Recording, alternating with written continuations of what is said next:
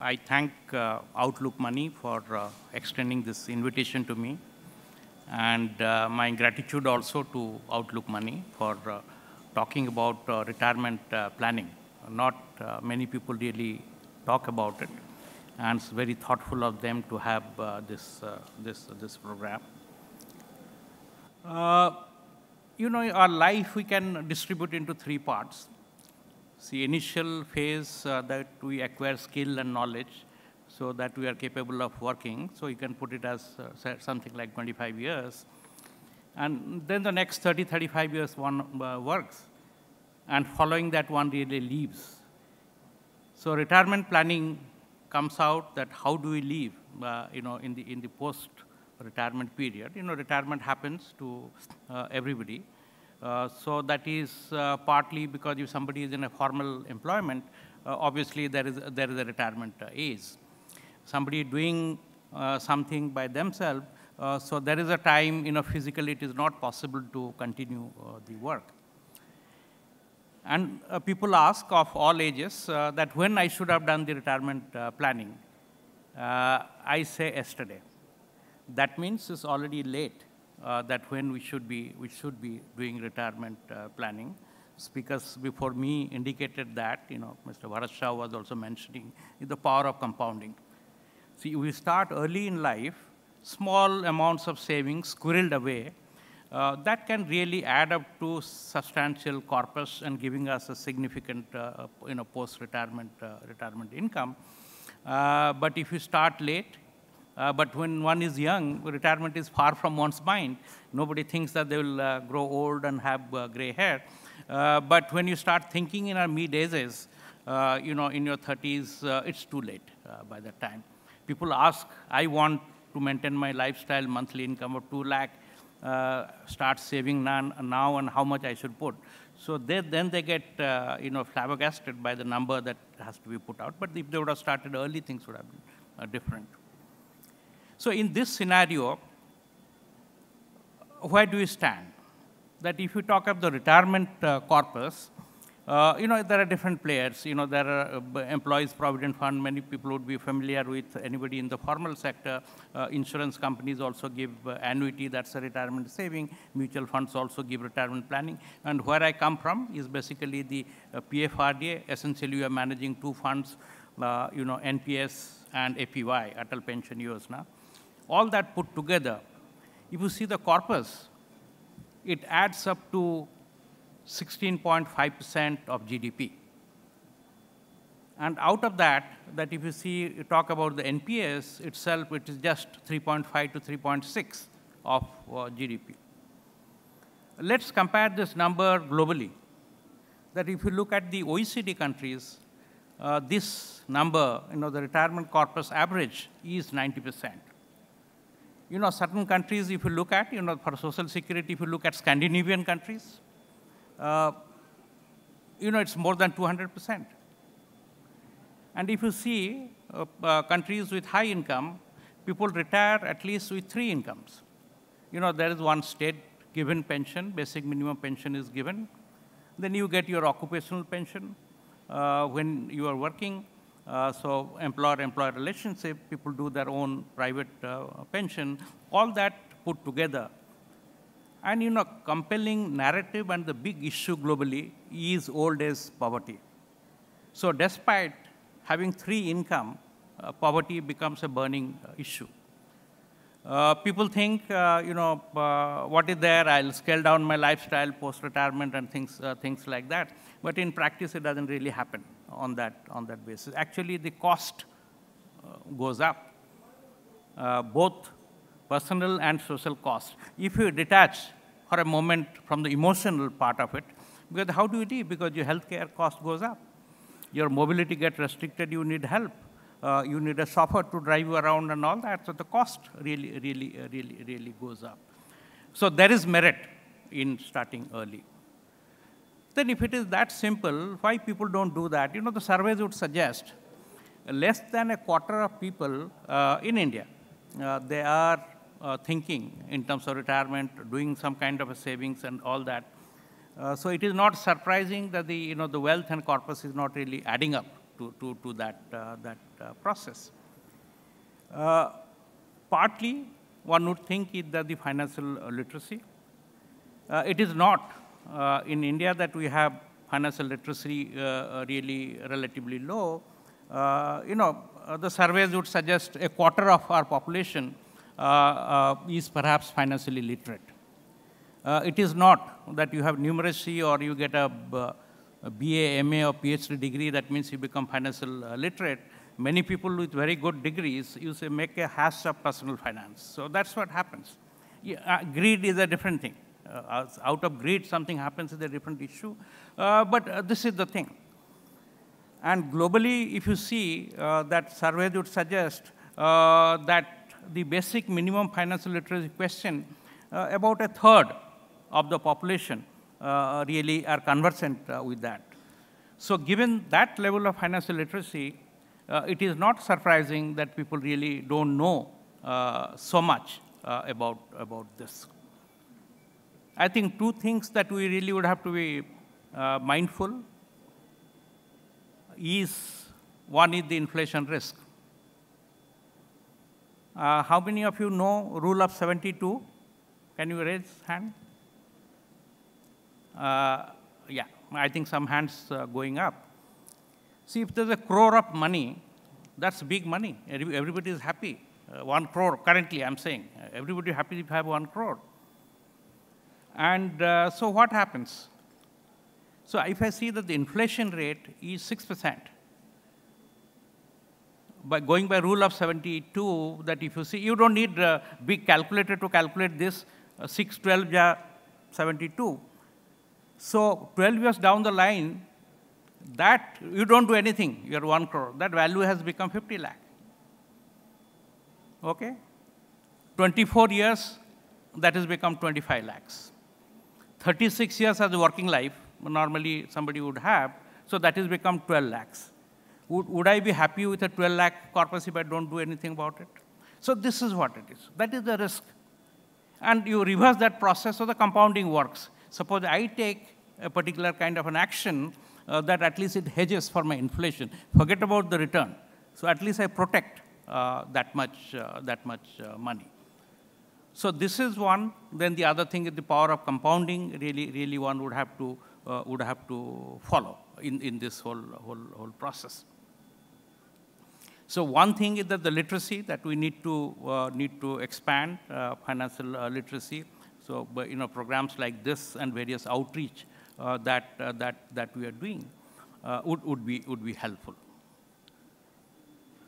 the other thing, why it is not, not really happening, would be partly because the nature of the labor force. Suppose uh, that you are in an organized sector. Here, if you see in our case, uh, at least 80% people are working in the unorganized sector. So there is no statutory social security uh, which is available to them. Once a statutory social security is available because you are in the formal, uh, formal sector. So what to do about them? Necessarily, they would have to provide for themselves. Uh, you know, thinking that some miracle would happen is not going to, uh, going to happen. So that's a big challenge. Unlike in, in case of advanced countries where many people and, you know, uh, are in the, in the formal uh, organized uh, sector employment. So that is a, that is a big challenge. The other belief that if the head of family has one retirement account, that is enough, that is a nirvana for the whole family. That's not true. So I'm talking about people who can really afford. Why don't you, if I'm talking of men, uh, that why don't you give up, uh, you know, retirement account to your spouse? Uh, they need it even more uh, because uh, you know, the longevity of women is more than men. Why don't you give it to the children? So that is how, once you give it to the children, obviously when they grow up and then, you know, they start earning, uh, they can continue that particular kind of account. So that is how we'll, we'll, we'll it needs to be uh, worked on, on that, uh, on that uh, basis. So that is one aspect that one really would have to address. And now, turning to the pension account that, that we are managing, that is NPS and APY. Uh, you know, pension used to be the preserve of people who are working in the government sector. people, those who have gray hair, they would also recall that in some locality and village, if somebody is there, somebody is envy of that village, would say that, oh, oh Sarkari here, then he or she gets a pension. You know, it comes, a monthly income comes in. So NPS, which again started uh, for the government uh, servant from 2004, uh, and uh, now it is available to everybody. And since 2009, so it is available to the corporate employees, it is available to the common person. Anybody can really take, uh, take, an, uh, take an NPS uh, in, that, uh, in that account. And uh, entry barriers are also not, not, not very high. Uh, with a thousand rupee, one can open an NPS. Of course, thousand rupees will not give you a big pension, but what I'm saying that there's not much of because it is, pension has been socialized. Everybody can really have an access to the, to the, to the NPS, NPS account. And anybody till the age of 70, uh, because uh, these days, you know, 60 is also young, because longevity is also going up. Even people retire uh, uh, at age 60 with a pot of money. If you get a pot of money, it runs out. Uh, because suppose we are used to thousands or lakhs. If you get in, a, in crores, we think it's a lot of money, it will last my lifestyle, you know, lifelong. Uh, but uh, we don't hear happy stories, people who retire with a lot of money. There's a lot of pressure. There's a lot of risk, uh, including, uh, if I say, from, from your own family also, then you don't know. You cannot say, I don't have money. So that money runs out. So that's not a happy story. But if you look at pension, uh, it stays through your life. And it goes when you leave that. Nobody can really snatch it away from, from you. And then it passes on to your spouse if one has really, really opted. So it is not a substitute, I would say, for other kinds of, uh, other kinds of products that we have uh, in, in the market. So I would suggest that, uh, you know, those who have taken well and good, those who have not taken, I'm not doing marketing, but they must, uh, must do that. Uh, it was said because all my life uh, I have spent in the financial sector. But frankly, I didn't have that much knowledge about uh, pension and retirement planning and all that as long as I had not moved to this, uh, this, uh, this, uh, this job. And how do you join? Uh, there are different ways that one can join the NPS is that uh, you know, somebody digitally savvy, they can do it by themselves, that, you know, eNPS is there, uh, go to the net, uh, they, they can do it. those who cannot, they can do through their banks with the point of presence. Then you can, you can always open a retirement uh, account on that, on that side. And these are well-regulated funds. So as you speak, the corpus has expanded uh, to 11 lakh crore. And these are invested by professional fund managers and giving very good return you know, one spoke about uh, equity and all that. If somebody is, you know, it gives, you can, you can make a cocktail of yours. Uh, you know, somebody, suppose he is young, can take more risk, can go in for more equity. The full equity return since inception of the scheme is more than 13.3% per year. That's a very good return if you compare uh, with any return in the, in the, in the market.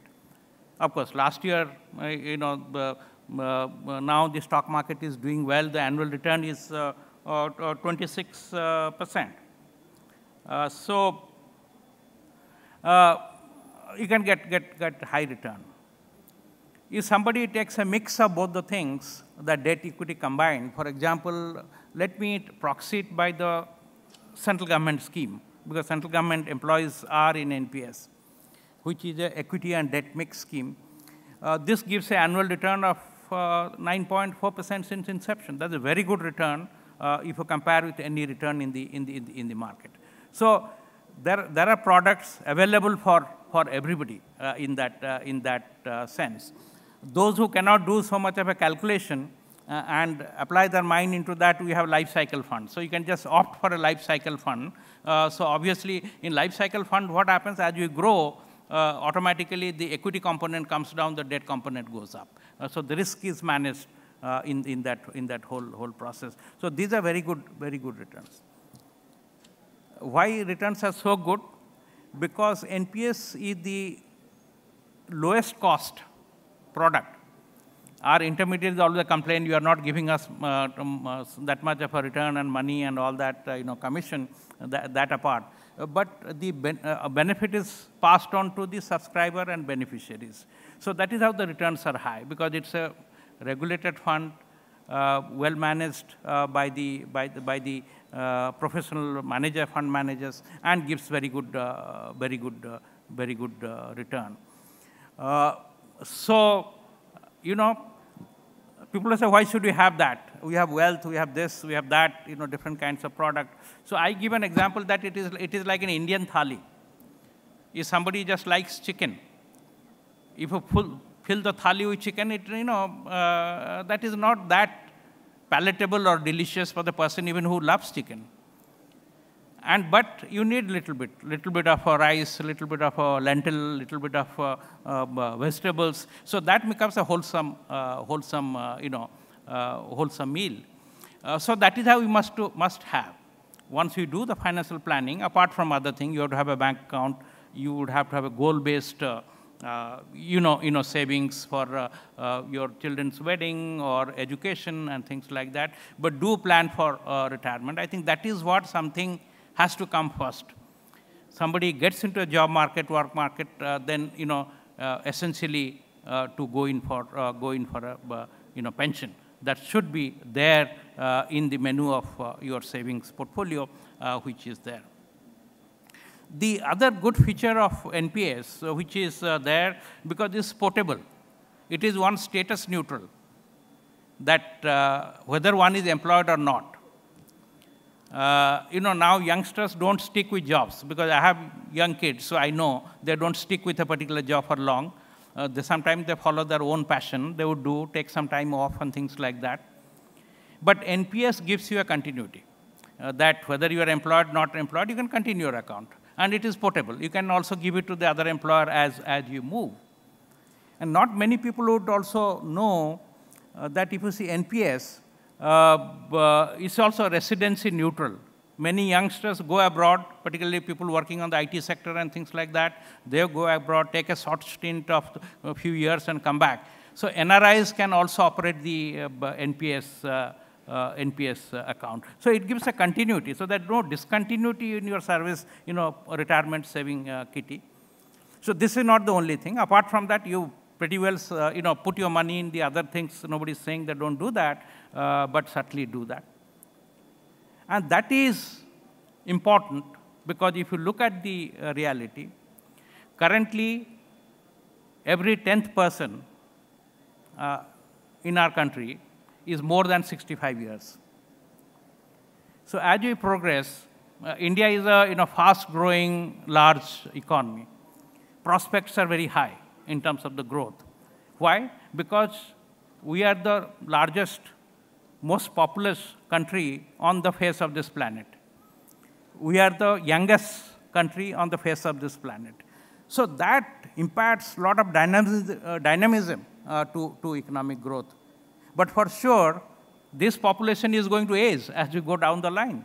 And before us, you see such a dynamic economy like China, what is, what is a major issue? It has slowed down considerably. Apart from other factors, the main factor is that population is aging. And this we are seeing uh, in case of Europe, in case of Japan. So this is what is going to, going to happen. If the provision is not made now, uh, it would be too late. See, the projections would suggest by 2050, where we are aspiring as part of Amrit Kal, that we will be a high income country. Okay? So what is going to happen that every fifth person would be more than 65 years of age. So how do you handle the situation? If the provision is not made now, uh, it cannot be, cannot be uh, achieved. So you should progress. And finally, I would say that, okay, because you are saying this pension, NPS, of course, I didn't speak much about Atal Pension Yojana, uh, which is a small ticket scheme for, you know, more of a deprived low income or low income people which gives a fixed pension of 1,000 to 5,000 rupees. That apart, large numbers we are getting from there.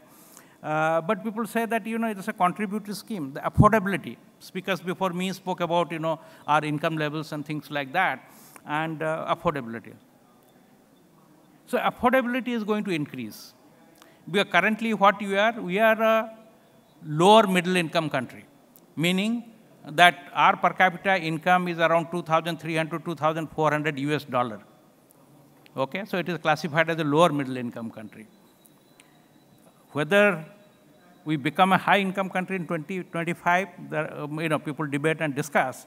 But for sure, in the next decade, we'll be an upper middle income country.